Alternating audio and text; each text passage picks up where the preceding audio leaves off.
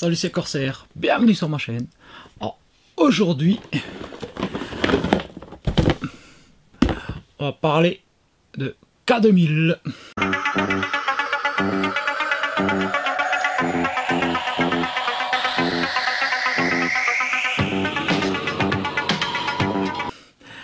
Donc euh, boîte qui est sortie euh, mi-juin là sur le site de Playmobil qui est également disponible sur Amazon et sur d'autres sites marchands. Hein.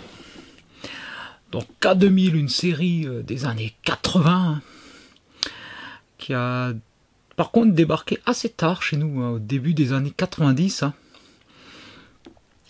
Donc euh, pour ceux qui connaissent pas rapidement, bah, K2000, euh, c'est une série qui met en scène Michael Knight au volant d'une voiture euh, intelligente euh, du nom de Kit. Et donc, euh, il travaille pour la FLAG, Fondation for Law and Government, la Fondation pour la loi et le gouvernement. Et il traque donc les méchants. Alors, il faut dire que dans le temps, la, voilà, la série, ça faisait rêver. Kit, la voiture qui se parle, se conduit toute seule.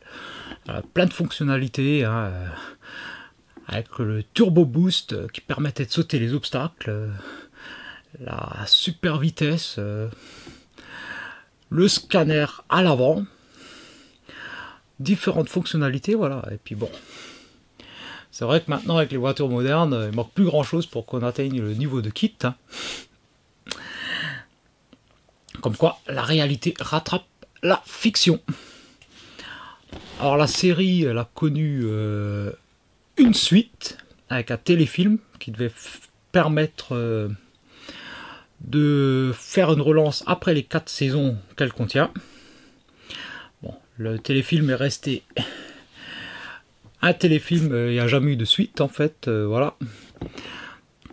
On y présentait le nouveau kit, donc au lieu d'avoir le Night Industry 2000, on avait le Night Industry 3000 Bon, ils ont gardé le même acronyme.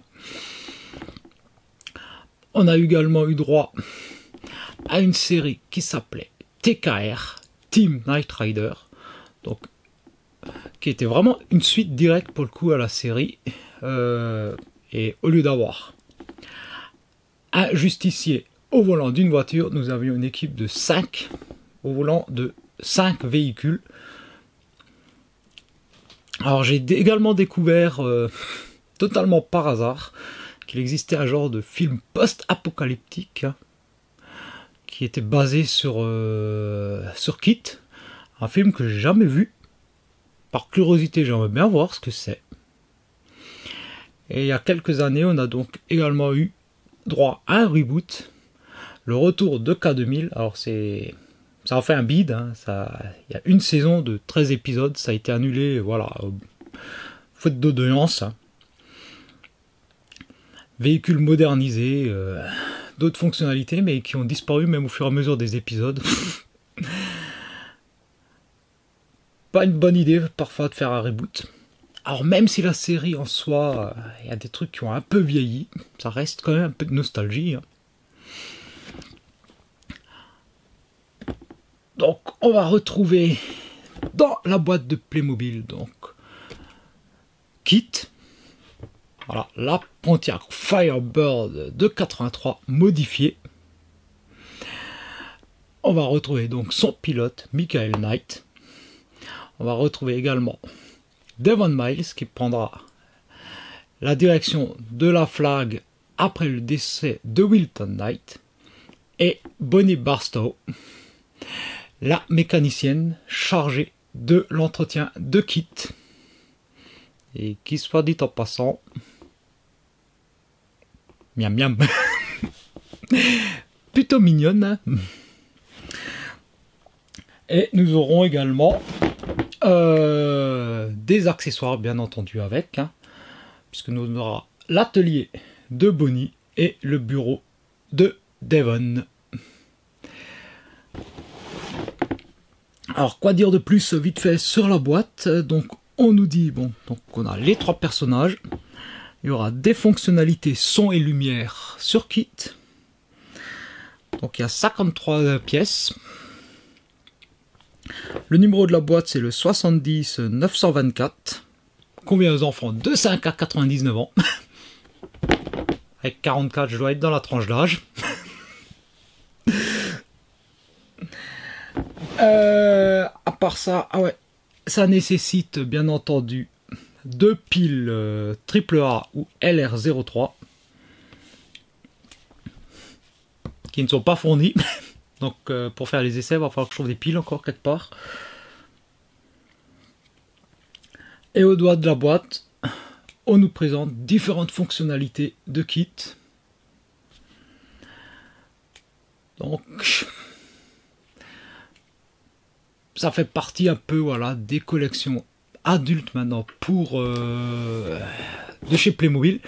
Au même titre que la, voiture de James Bond le van de l'agence touriste que je vous ai déjà présenté le vaisseau de Star Trek que je vous ai pas présenté pour une bonne et simple raison.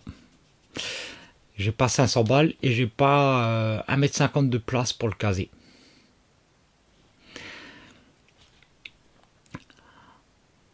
Donc Playmobil continue dans notre côté nostalgique. Et moi, je blablate comme d'habitude beaucoup trop pour une intro beaucoup trop longue. Et donc, sans plus tarder, eh ben, je vais ouvrir ça. Je me suis pas spoilé, hein, je sais même pas du tout comment c'est présenté, rien. J'ai essayé d'éviter toutes les vidéos, tout ce qui pouvait tomber euh, là-dessus. Donc je vais vraiment découvrir ça au moment où j'ouvre la vidéo, où je tourne la vidéo. Allez, c'est parti. On ouvre la boîte tranquillement. Wow. Bon.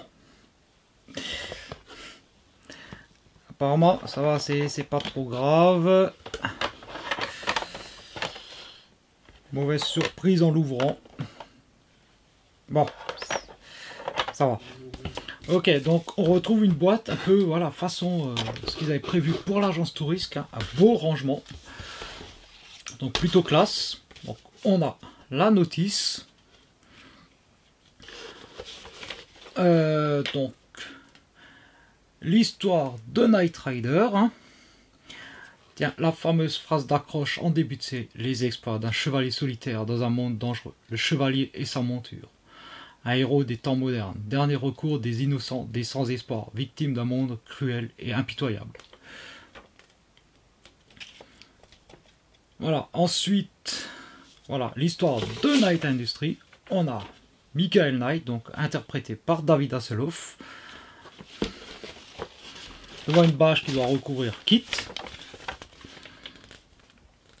Ensuite, on a apparemment le contenu de la boîte. Est-ce qu'on a autre chose? Ah oui, voilà. Donc on a Michael Knight. Donc l'histoire de Michael Knight l'histoire de Devon Miles et l'histoire de Bonnie Barstow. Et ensuite, ben, classiquement, toutes les étapes euh, pour assembler kit.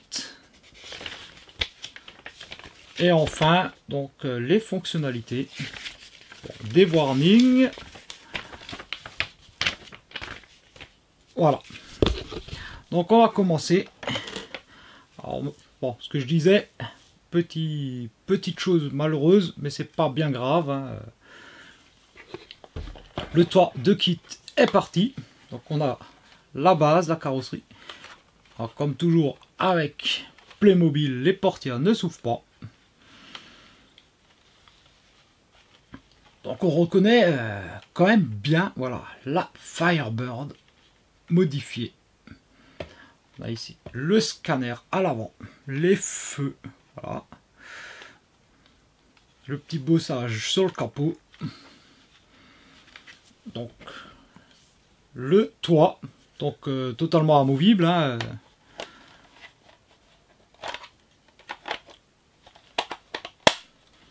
Ah bah voilà, classe. Le T-top transparent, la vitre arrière, aileron, les feux à l'arrière.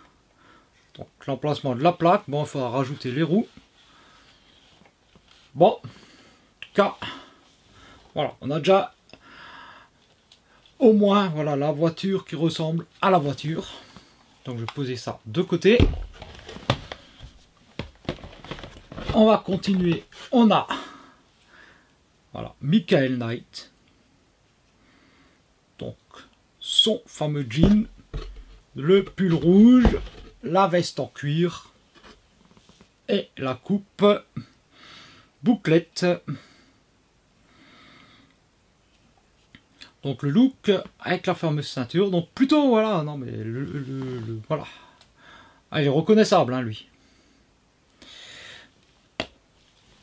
On a ensuite, euh, je vais prendre Devon Miles. Donc avec sa coupe, voilà, ses cheveux gris, son costume. Là aussi encore personnage très reconnaissable. Hein. Devon toujours habillé classe. Et enfin, nous avons Bonnie. Donc avec sa combinaison blanche de mécanicienne. Ah, eh. c'est la première fois que je vois ça, moi, sur des, sur des Playmobil, des, des cheveux souples pour les, pour les personnages féminins.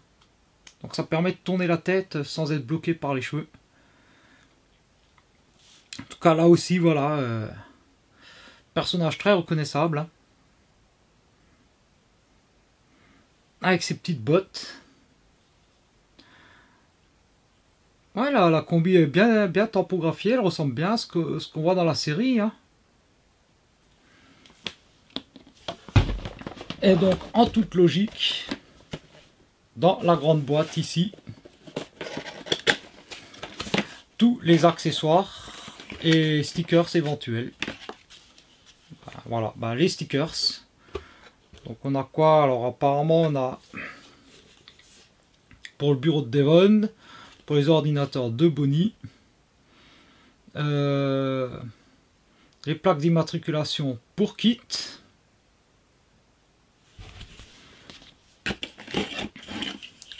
Donc voilà, l'ordinateur de Bonnie.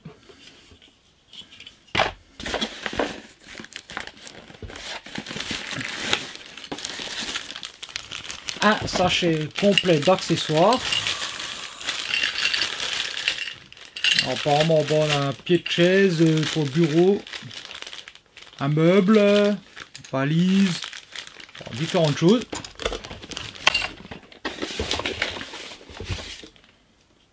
Ah, des manchettes. Donc, euh, vu la couleur, je pense c'est peut-être pour euh, Devon.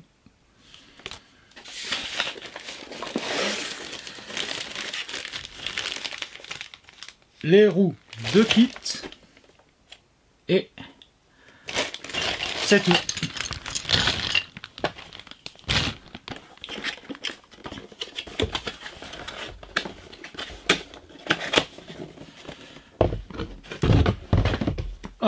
J'aime bien voilà l'idée maintenant de Playmobil pour les pour les, les sets pour adultes de faire des belles boîtes bien rangées. Donc, moi je vais assembler kit et les différents accessoires.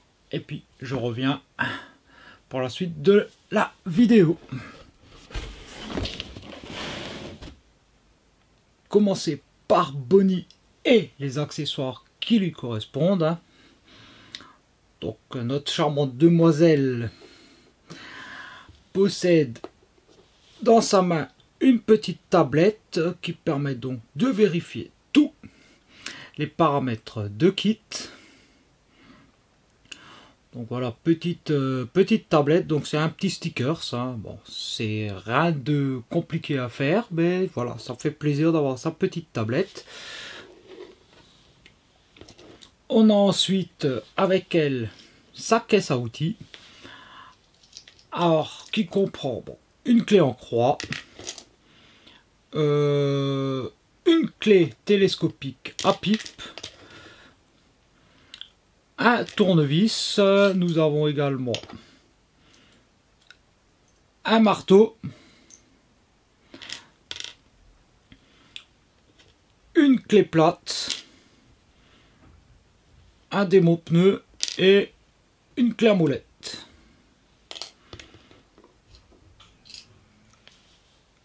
Le tout dans sa caisse à outils. Alors c'est un peu les mêmes accessoires que ce qui est fourni avec euh, l'agence touriste. Hein. Nous avons ensuite un petit appareil photo. Voilà, très classique. Hein.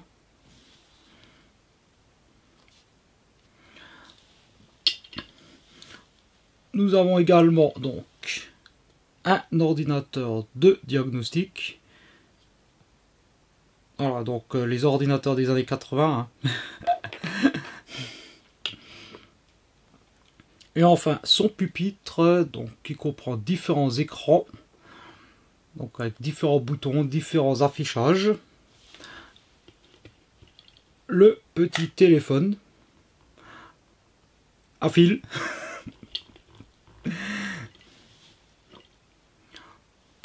donc voilà pour Bonnie et les accessoires qui lui correspondent. Nous avons ensuite Devon Miles, donc derrière son bureau, donc avec son téléphone. Alors bon, les Playmobil, ils ont toujours un peu de mal à téléphoner. Hein. Donc bon vieux combiné à fil. Hein. Voilà le téléphone. les bons vieux téléphones à touche énorme. Hein différents boutons, euh, donc ce qui permet de composer le numéro, l'affichage et puis les boutons pour passer de d'un combiné à l'autre.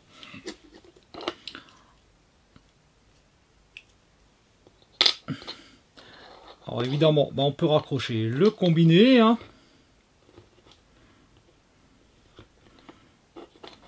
Le bureau plutôt sympa. Avec les ouvertures classeurs sur l'arrière, mais qui ne s'ouvrent pas. Et sa petite chaise de bureau pour euh, être à l'aise.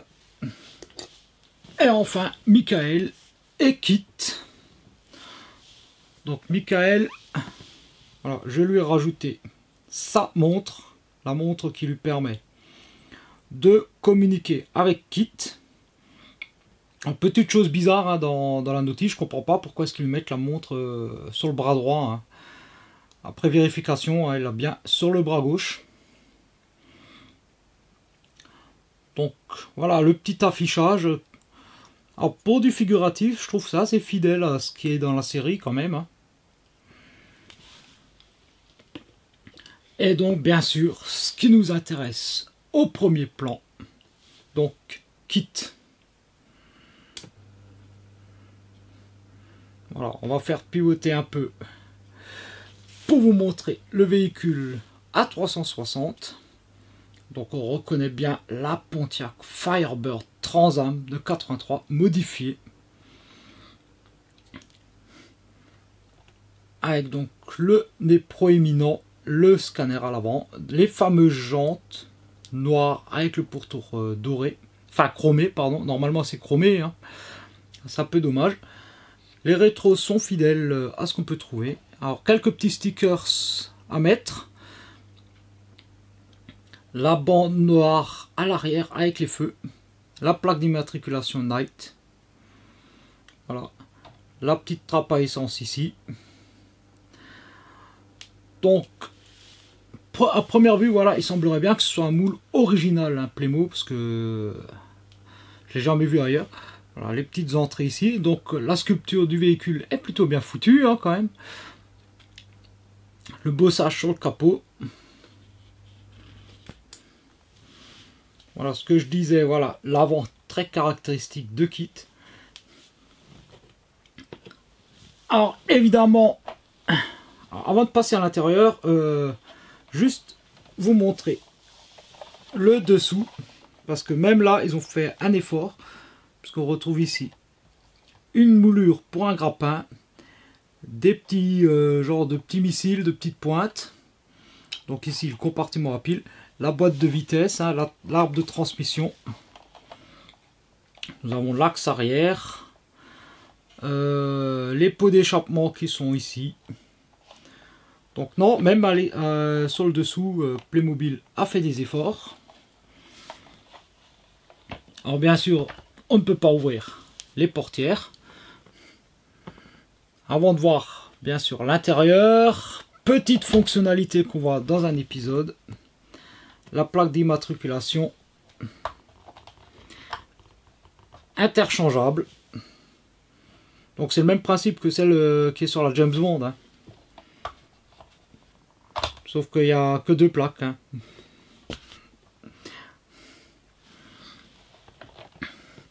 Nous avons un accessoire en plus. Alors, euh, ouais, c'est bien, mais il y a peu. euh, voilà, je sais pas trop quoi en faire hein, de ce truc. C'est un grappin.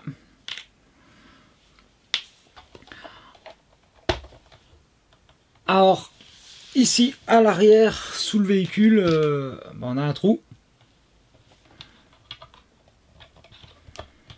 On insère ça. Voilà. Et ensuite, on a le grappin. Alors, le, truc euh, qui m'emmerde un peu avec ça, c'est en fait, on peut pas l'enrouler à l'intérieur, quoi. Ça aurait été. Même avec un petit système de roulette discret en dessous pour, euh, l'enrouler, quoi. Je veux dire, en plus, ça existe chez Playmo sur des camions grues ou des machins comme ça, un truc pour enrouler le, le grappin, quoi. Pour enrouler des fils. Ça aurait été. euh, voilà. Après, ils auraient aussi pu le mettre à l'avant. hein. Ensuite, bien sûr, on va voir l'intérieur. Donc déjà le dessus avec le T-top. hein. Donc Playmobil oblige, faut décrocher tout le toit. Alors, on note qu'il y a 4 places. Et 4 vraies places pour 4 personnages. Alors l'intérieur beige qui correspond au véhicule à kit. Et voilà, alors je vais essayer de montrer ça le mieux possible. Tout le tableau de bord. Alors petite chose euh, qui manque, c'est il n'y a pas de bouton ici. Ça aurait été cool d'avoir voilà également les petits boutons qu'on peut trouver ici. hein. Mais bon, on a déjà tout le tableau de bord, voilà, avec le volant, alors qui est fixe. hein.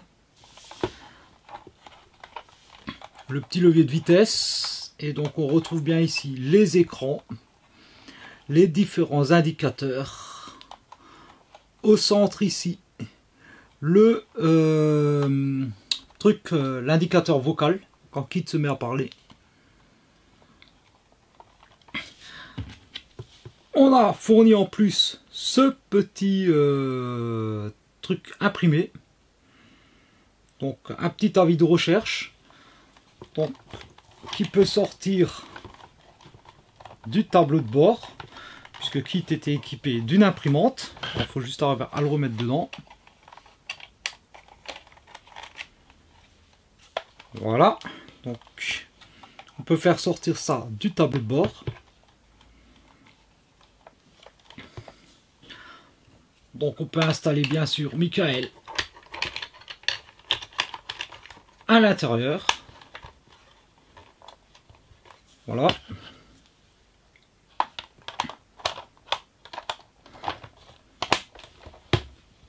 Donc déjà là, c'est plutôt classe. hein. Et ensuite, donc, normalement, les fonctions euh, sonores.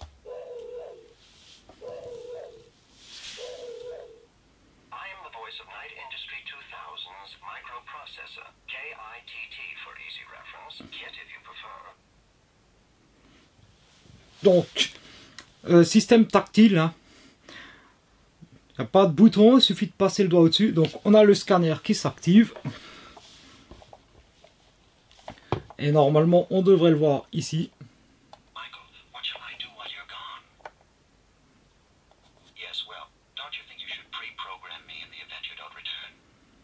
Alors évidemment, il parle en anglais. hein. On a ici donc le euh, petit voyant quand il parle qui s'allume. hein.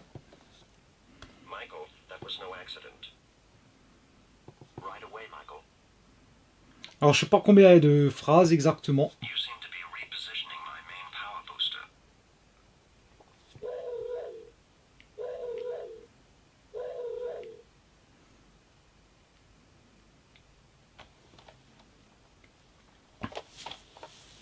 Voilà, donc ça c'est plutôt sympa. Voilà, le vrai scanner à l'avant. Est-ce qu'il est dit de façon aléatoire?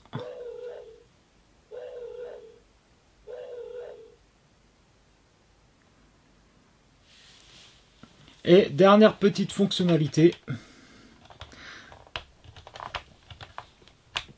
Voilà. On peut ouvrir les phares pop-up. Euh, avec des stickers, hein, donc ça s'allume pas.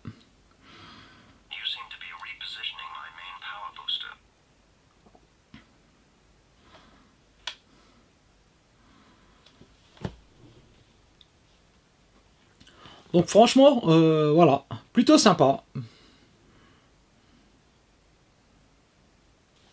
Bon, moi j'arrive à la fin de la vidéo. hein. Alors, conclusion, qu'est-ce que j'en pense? Alors franchement, pour les nostalgiques, euh, c'est bien joué de la part de Playmobil. là. Puisqu'on retrouve vraiment euh, ce qui fait l'essence euh, de la série K2000. hein. Donc, les personnages principaux. Donc, Bonnie, Devon, Michael et bien sûr la voiture emblématique de la série, Kit. Des petits accessoires pour agrémenter le tout. On a l'ordinateur, euh, le tableau de contrôle pour Bonnie, le bureau de Devon. Donc à part voilà, à part le grappin que je vois pas trop ce que je peux en faire. Tout le reste est plutôt sympa, franchement. Ce qui est cool, c'est les fonctions son et lumière. Un kit qui ne parle pas, euh, ça aurait été un peu euh, dommage, hein, franchement, hein, ça aurait été couillon. hein. Donc, le scanner, la voix de Kit, bon, elle parle en anglais, c'est international, voilà, on va pas chercher plus loin, c'est pas bien méchant.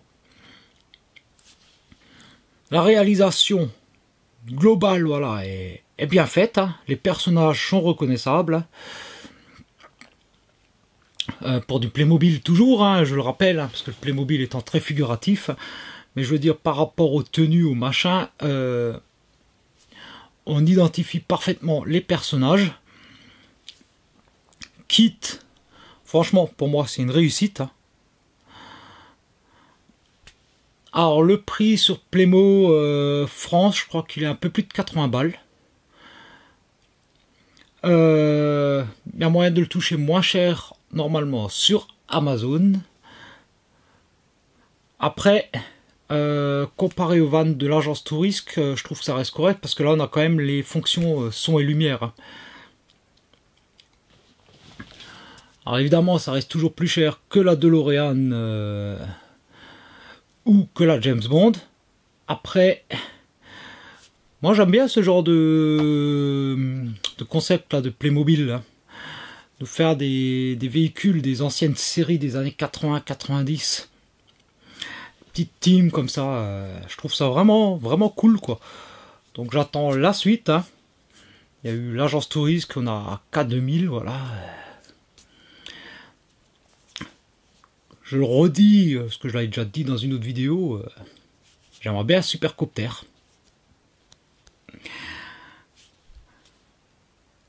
Ou alors, euh, je ne sais pas, moi, on va dire... General Lee avec les frères Duke. Concernant K2000, euh, ce qui serait top, c'est qu'il nous fasse le semi-remorque. Le gros GMC avec sa remorque noire, avec euh, la pièce d'échiquier, euh, avec le cavalier dessus. Ça, ce serait top. Alors évidemment, euh, vous pouvez vous en douter, hein, je suis content je suis agréablement surpris du contenu de la boîte, de la réalisation. Donc je vous le recommande hein, pour les fans de la série. hein. Donc comme d'hab, vous n'hésitez pas dans les coms à me dire ben, ce que vous en pensez. Laissez-moi des petits pouces si la vidéo vous a plu. Et moi je vous dis donc à très bientôt pour une prochaine vidéo. Allez, ciao